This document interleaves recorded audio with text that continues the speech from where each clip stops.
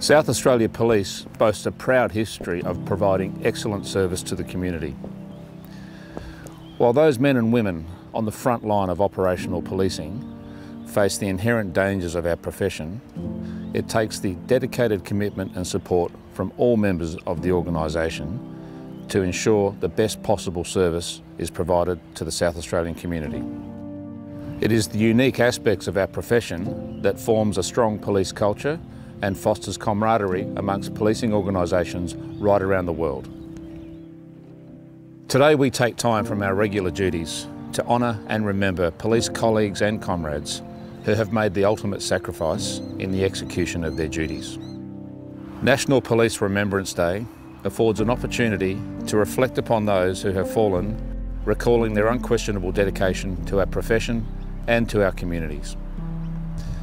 Throughout the history of South Australia, 61 police officers have lost their lives in the execution of their duty. Their deaths are a great loss to their families, the police family and to the South Australian community.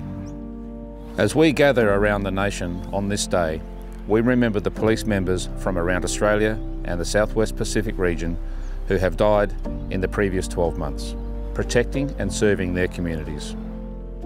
Constable Rachel McCrow and Constable Matthew Arnold from Queensland Police, who both died on the 12th of December 2022 after being ambushed and shot at Wiembilla, Queensland, whilst performing their duties.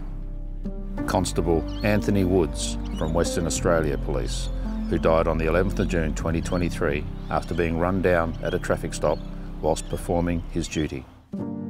Sergeant Terry Giwaya died on the 20th of July 2023, shot in the line of duty at Oro Bay, PNG, whilst searching for armed insurgents. We remember them in the following moments as we pay our tribute.